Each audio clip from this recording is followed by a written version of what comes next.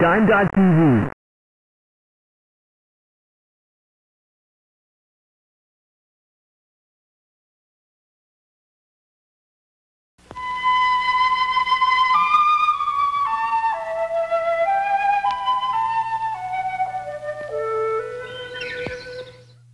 The vampire bat is monster number 5 in the Castlevania bestiary and is feared as a servant of evil. It is worth 10 experience points and will occasionally drop a potion.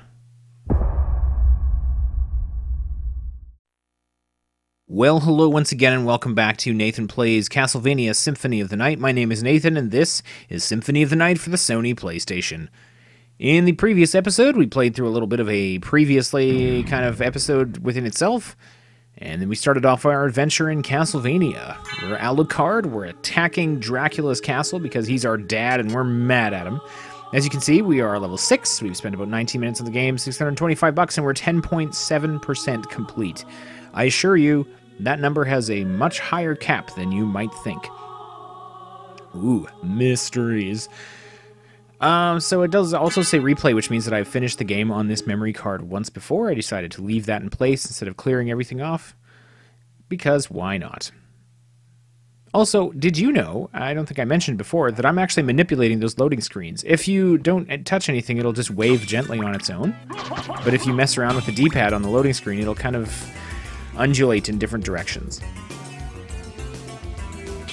So the first thing we're doing is heading down. Um, this is the beginning of a winding shortcut that leads back to uh, one of the earlier areas of the game, and we're actually not going to go all the way through it because there's a strong chance it'll kill me.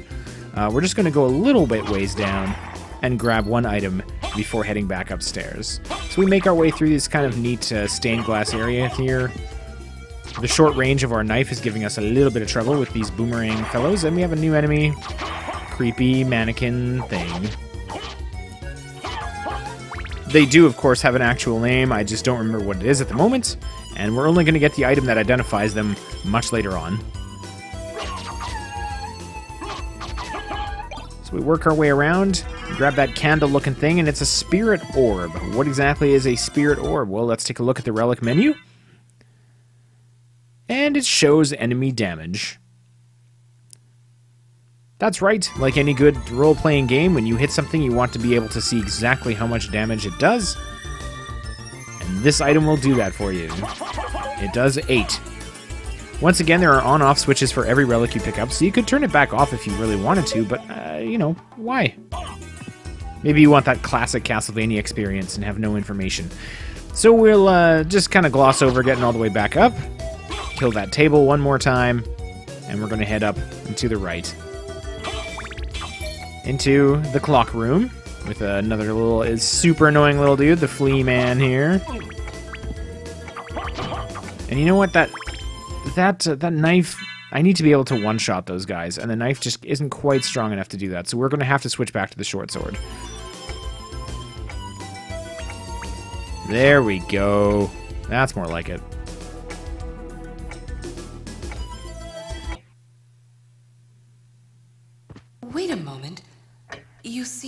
Human, and yet, what do you here? I've come to destroy this castle. Then we have the same purpose. I'll trust you for now. I'm Maria. Who are you? Alucard. Not the talkative type, I can see. Well, perhaps we'll meet again. If you live that long. Farewell. So that's our first interaction with Maria. And it, well, I thought went reasonably well. This is also the clock, which is very near the heart of the castle. As a fun fact, the time on that clock is linked to your total playtime. So yeah, as you can see, it's 2303. And if you go back, we're at uh, it's actually it starts at midnight, so it's it's 12:23 in the morning, according to this game. Uh, that might not seem important, but there are certain things that happen on certain cycles, and there are also certain items that are affected by being day or night in the game, which in turn are affected by how long you've been playing the game. So it's it's kind of a neat addition. Again, one of the many, many little touches that this game includes. accidentally grabbed the diamond thing there, which I did not mean to do and didn't really realize it, but I decided I would just roll with that. Even though in this uh, kind of diagonal space, it's not especially useful to me.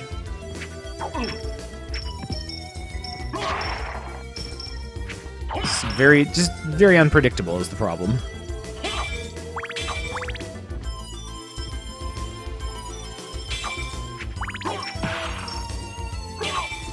We have another new uh, sub-weapon that we just picked up there, the uh, stopwatch.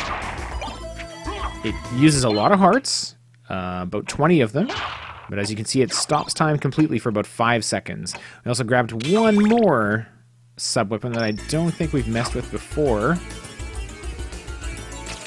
And that is the book, which will uh, fly around you in sort of a pattern, and then zoom off. Sometimes useful, sometimes really not. We come across this blue glowing door that says it is magically sealed. I suppose we're going to need something to deal with that later on. I don't suppose, I know! Haha! Just being coy. Little dead end down there with another killer table in it, but lots of hearts. We also have these kind of uh, fairly obvious gates in the floor we're to have to come back for those as well. Here we have the long, long hallway. And uh, some kind of freaky but not especially difficult new enemies. Pretty long throw on that fireball means it's as long as you stay close, you're just fine. Now, a word about magic. So, as I mentioned before, the spells tab is uh, grayed out here in the inventory that doesn't actually mean that you can't do any spells. It just means that the game, you don't know any yet. Um, you don't, the player. But if you know them, if you know the inputs for them, you can do them anytime, as long as you have the magic points for it. So for instance, I can do this. And you can see I've taken a chunk out of my magic bar in the upper left corner, and now the spells tab is lit up, because hey, presto, we did the inputs, and now it's going to let us know that we just did Hellfire, there's the way to do it again. It's MP15, it's 15 magic points, and it transports and fireball attack, just like Dad. In the beginning of the game, remember that? So while you're gone, you have a brief moment to kind of zoom around, and then when you reappear, you'll shoot some fireballs. There's a couple of other spells that I use on a pretty regular basis, uh, especially that one, Dark Metamorphosis, uh, which any creature that bleeds, when you hit it, and you splash that blood on you will restore health points. This one is very useful. And there's one more that I'm going to be leaning on pretty heavily later on in the game. So as you can see, Dark Metamorphosis is now added to the list. Any spell that you know how to do, you can do as long as you have the points for them. Uh, there are other ways to discover them. You can uh, find out what some of the spells are later on in the game. But right from the beginning, you're able to do a lot of this stuff, which is kind of neat.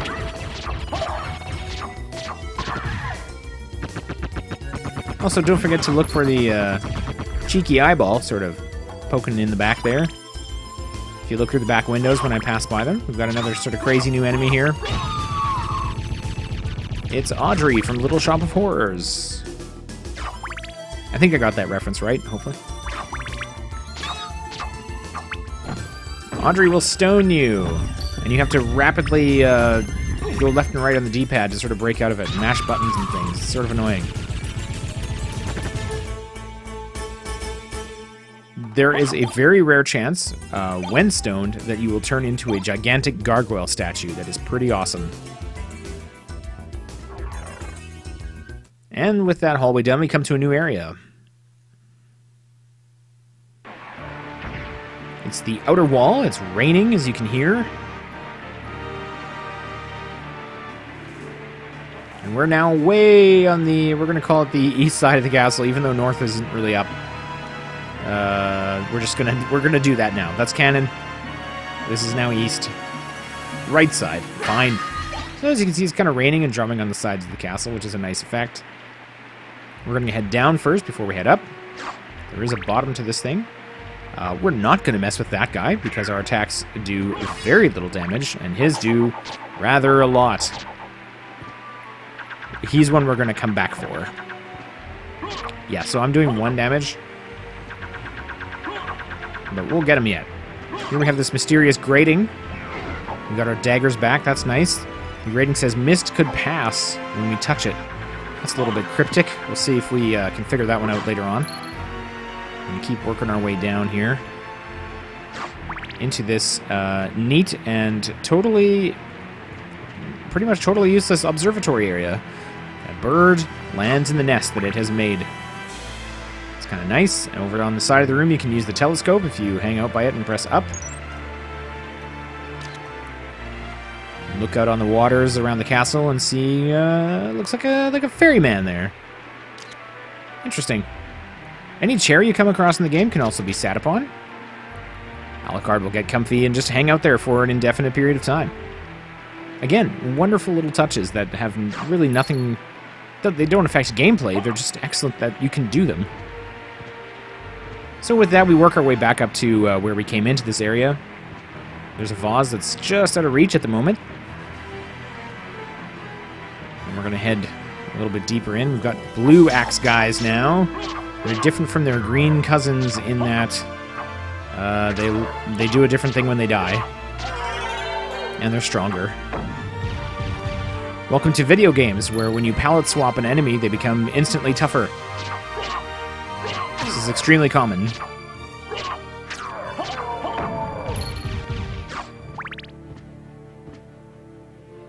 And we have kind of a grisly scene there, some skeletons in the back, but we're going to save the game real quick.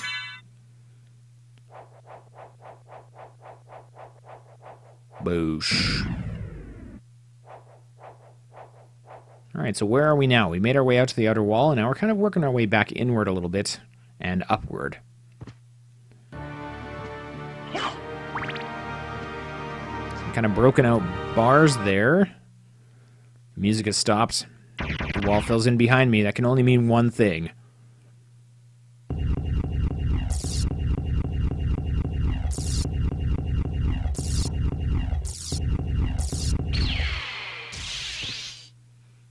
What? It's me. Yes, it's Doppelganger 10. Most games will save the shadow version of you uh, as a fight until much later on. This game says, well, let's do it in the first hour. No big deal. There's no rules. So Doppelganger 10 uh, has your attacks. I don't know why he's called 10. Perhaps he's level 10. I'm not sure. He uses a lot of your sub-weapons interchangeably. He likes to jump. He has a better sword. And he'll stymie your magic attacks every time with skills like turning into what look like a form of mist that we just don't have yet. That hardly seems fair. It is quite possible to get him into a pattern with uh, jump attacks. It's mostly, it's actually a pretty fun battle. Over too soon. Back to the rainbow dimension with you, Doppelganger.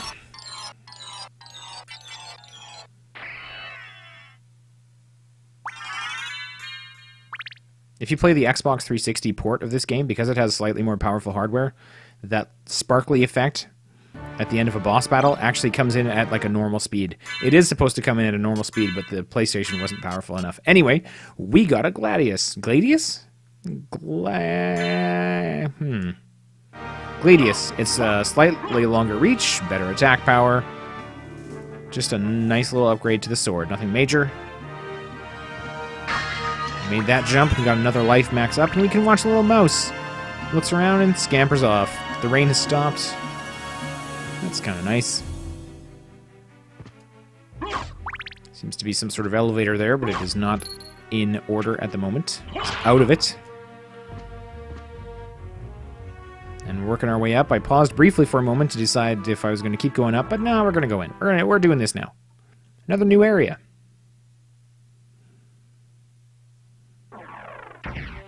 It's the Long Library. With a wonderfully classy soundtrack. And these guys, they're tough. But a couple of well-placed daggers, and you can keep them at a good distance without having to deal with their super long stabby attacks. Also, the daggers are very cheap to use, like in terms of resources. So that's nice too. That guy's still gonna get me, though. Carefully, timing. There we go.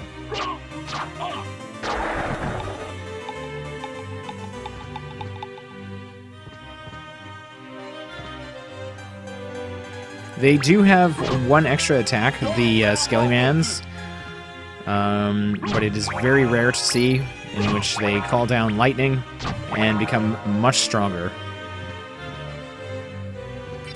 So working our way out to the side here, we find a bronze Cuirass. Let's check it out. Replace the hide one that we're wearing currently. It has better defense, and the only description is bronze Cuirass. Well, there we go. I guess not everything can have a story to it. Working our way back to sort of that junction from earlier, we're going to go up, check out that awesome shadow effect on the background there, and we're going to deal with these guys. They like to do speedy zooms in sort of an unpredictable way. Fortunately, they're not too difficult to kill. However, if you are incautious, they curse you. As you can see, I have a little curse now at the top middle of the screen. I am funky colors, and I can't attack. It has no other effects, except that it's just very, very annoying. And that's why we pick up Uncursed Potions.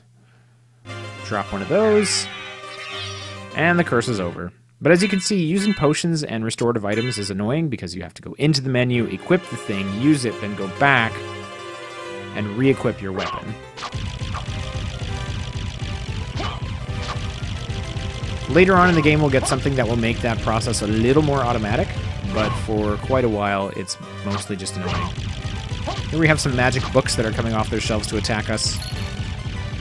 You know, as every librarian's nightmare, I assume. Now I dropped a thousand dollars. Nice. Didn't have to do that. New relic, it's a fairy scroll. What does the fairy scroll do? As you can see in the lower right of the screen, it says magic tome when I hit that thing. So I'll give you give you three guesses. Yep, it displays the enemy's name. Good information to have. Just, you know, you want to know. You want to know these things. So, for instance, these Skellymans with the, with the swords are called Durons. Take that, Duron, or Duron. There's also Thornweed there. It's fascinating. An endless array of names that I will not be reading all of, because you can do that.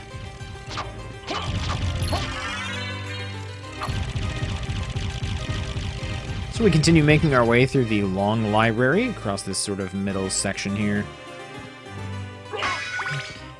Fairly sedate hallway. It's been a long time, old one. Oh, it's you, Master Alucard. What do you need? I need your help. Young Master, I cannot aid one who opposes the Master. You won't go unrewarded. Really? In that case, just tell me what you need. So here's the shop in the game. Yes, the library houses the shop where we can sell gems that we picked up so far. Tactics is for uh, bosses. You can get some hints about how to fight them. We also have enemy and sound list. Um, many of the options uh, that I have for purchase in this area, as well as I think sound test, are not available on your first playthrough. Um, because this is a replay file, there's a whole lot of stuff uh, that we shouldn't have access to yet. The enemy list is where I'm going to be getting the descriptions for that Castlevania creatures, uh, creatures of Castlevania sort of gag that I did at the beginning of the episode. I feel like I'm going to keep running with those. And you can buy stuff. Like I said, there's a lot more stuff in this list than we should have in your first playthrough. First thing we're gonna get is the Jewel of Open, which can open locked blue doors that we've already come across. Uh, you can get lots of restorative items, uh, uncurses, that kind of thing, anti-venoms. Kind of moving through the list here. Magic missile. Uh, there's all kinds of stuff there, uh, but I need a couple of other things here. I do have 2,675 gold, as you can see. None of these, anything that says use next to the description means it's a one-time use item. Uh, I am going to grab a library card, which allows you to warp back to this uh, spot from anywhere in the castle. That's, that's rather nice. I think the saber is going to be a good investment. Mace is a lot more expensive. The saber will let me do something else. Keep a little bit of money left over in reserve. You can also buy uh, swords from much later in the game for a lot of money. And there's some other stuff here, um, some defensive items.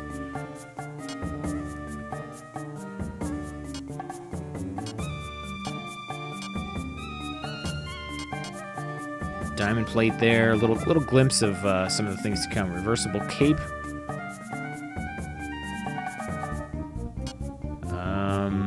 Oh, and there's the Joseph's cloak that I made reference to in the first um, episode. The one that allows you, it says system menu next to it, and that's the one that allows you to set any color you like. Oh, we're going to grab a castle map, and there's the duplicator, by far the most expensive thing ever. Um, but it, rightly so, because it essentially breaks the game. Thank you. One of one of a few different ways to do that. Here are the magic scrolls that will teach you the other spells, and uh, the last one that I'm really going to be into is Soul Steal that I just highlighted I'm briefly there. But I already know how to do it, so I don't need to buy the scroll. Heyo. All right, so I got the castle map. I can get in the saber, and we're going to call that a day. Farewell for now.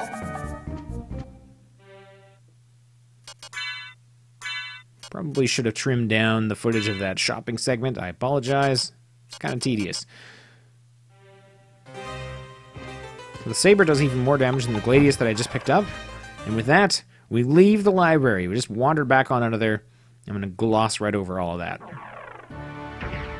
To make up for the, the time lost on slowly poking through items, I just cut out the entire leaving the library sequence. It was uneventful anyway. So here we face a whole host of different guys. Three shot the uh, blue axe lords, whatever they're called. Here we have skeletons with guns. This is not a good combination, and must not be allowed to stand. Something floating there behind that uh, elevator door, and we're gonna pop into this door here and see what's inside. Loading screen is in a new area? Well, sort of. Looks like the secret ending of a Super Mario World level. And there's a scorpion above it. Above it. And we climb inside. A cool magic effect happens. The scorpion changes to a horse. And what does it mean?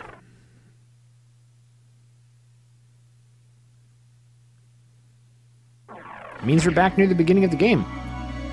That's right. We've just discovered fast travel. We're going to open this up so that we can uh, use it whenever we want to, coming through here. Grab the heart max up. And as you can see, if we uh, check out the map here briefly, those two, the orange spot next to me and the orange spot up in, in the upper right are the two fast travel stations that we just linked. We will be finding more and adding them to our network as we go. Uh, the first one's a freebie and just takes you to back to this spot. But after this, uh, we can't travel to the other ones until we find them. And as you can see on our castle map, we actually, uh, because we bought the map, we have a much better suggestion of some of the areas that are available to us. For now, we're going to warp back to the outer wall. Back to Scorpion Town there. The symbols above the uh, keyholes are useful for keeping track of where you are without consulting the map every single time.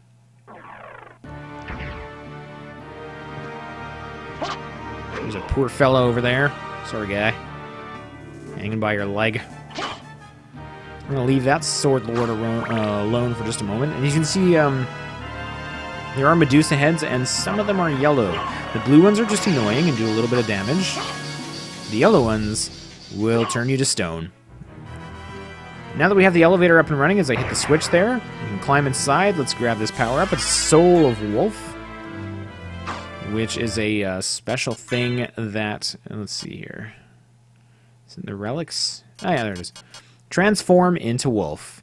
The uh, top R buttons are reserved for this purpose. I can now transform into wolf. I can do sort of a Bork there. I can do a speedy zoom that will uh, hit damage enemies if I go fast enough. And right now it's not super useful. Let's take this elevator. Little bit of a safety concern there, this elevator.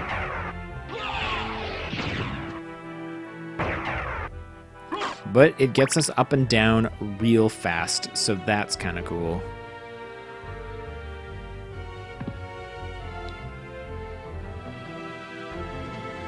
All right, so at this point, um, I'm making my way back through the long hallway to. Um, we're going to use the Jewel of Open that we purchased on that blue door that we saw a little while back in the Marble Gallery. I think daggers are. I'm still standing by them being one of the most versatile and useful sub weapons. So, opening the door, we get sort of a switch. Stand on that, and something does a ka-chunk. What does it mean?